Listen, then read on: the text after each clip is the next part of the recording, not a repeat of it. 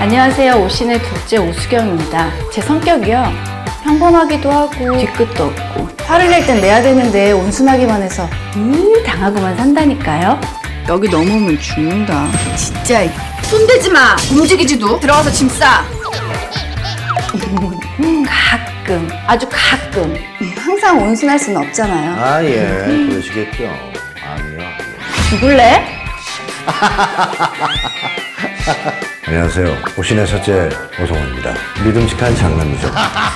카리스마. 있다고 해야겠죠. 넌 오성호 못 믿냐? 이제부터 나기는 내가 키운다. 나가.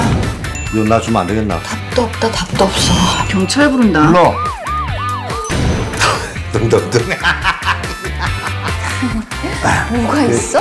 카리스마? 뭐, 뭐, 뭐가? 왜? 나와 뭐? 장남. 안녕하세요. 셋째 오주미입니다. 오빠랑 언니는 언제쯤 철이 들려나? 얼른 철이 들어서 저처럼 자립심 강하고 경제력 있게. 그 타이밍에 얘기하기 좀 그런데 카드값 열쇠나 좀 택시. 얼마인데요? 25만 원. 예?